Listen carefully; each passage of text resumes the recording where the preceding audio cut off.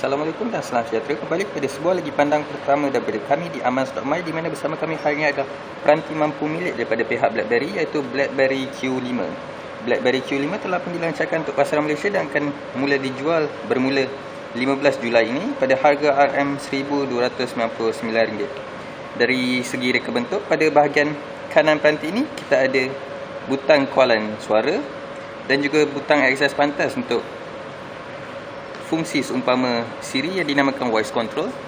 Pada bahagian bawah kita ada mikrofon.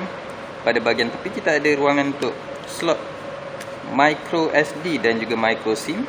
Di samping turut menyertakan ruangan pengecasan berasaskan micro USB seperti kebanyakan peranti BlackBerry 10.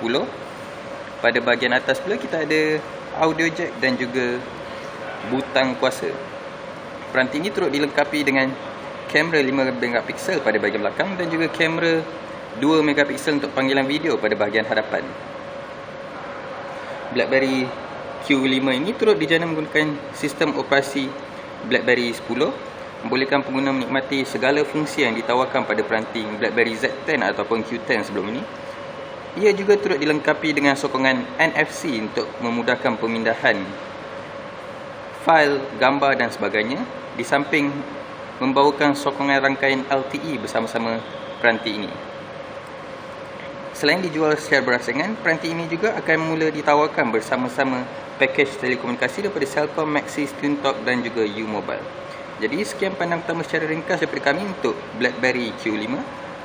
Jangan lupa langani saluran YouTube kami untuk mengikuti pelbagai perkembangan lanjut dalam dunia ICT tempatan.